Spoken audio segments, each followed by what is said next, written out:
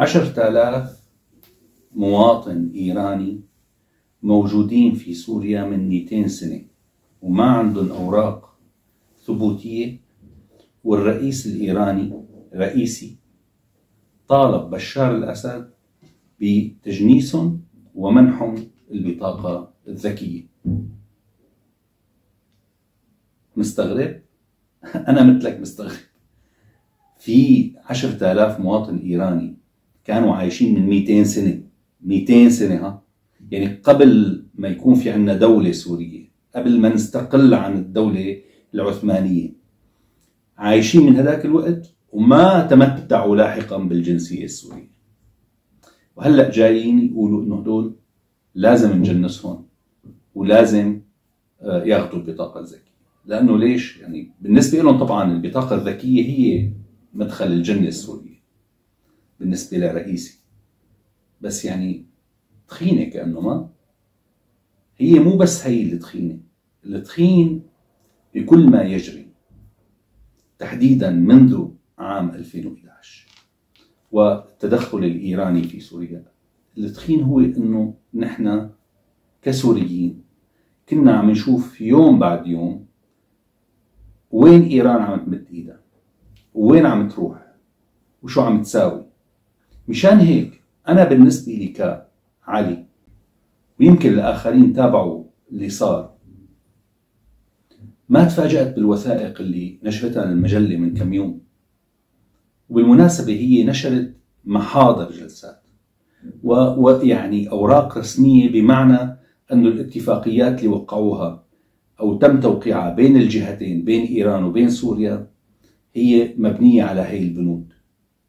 لكن رغم التطبيل يعني ورغم الاحتفال بأنه صار في بين إيدينا وثائق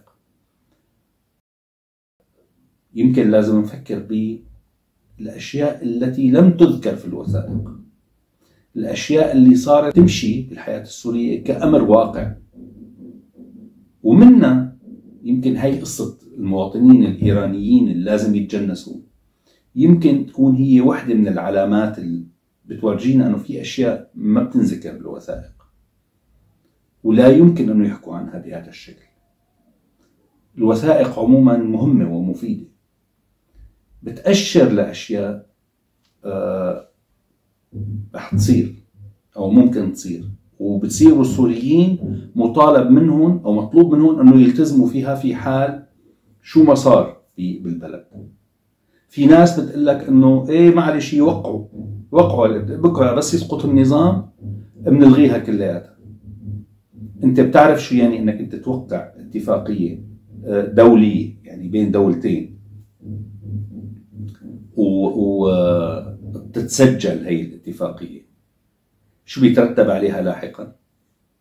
يمكن ما بتعرف. يمكن لرجال القانون إنه يوضحوا خطورة هي المسألة.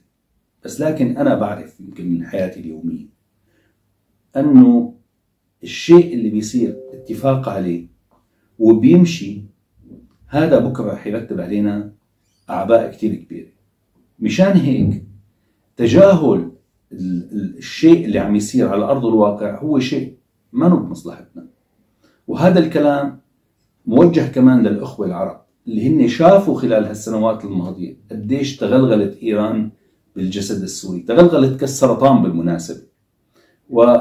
ولن تنتهي من أفعالها إلا بعد أن تقتل الجسد السوري بشكل كامل. أنا لما بحكي عن إيران يعني ما بحكي لأنه أنا بكره إيران. بالعكس إيران بلد تاريخ طويل في الشرق قيمة ثقافية عالية لكن إيران الولي الفقيه هي جزء من مشكلتنا في سوريا وجزء من مشكلة الإقليم كله صارت. حاليا لما أنا بدي أحكي عن الدور الإيراني. في دور واضح ظاهر هو الدور العسكري لخدمة النظام ولحماية منظومة النظام.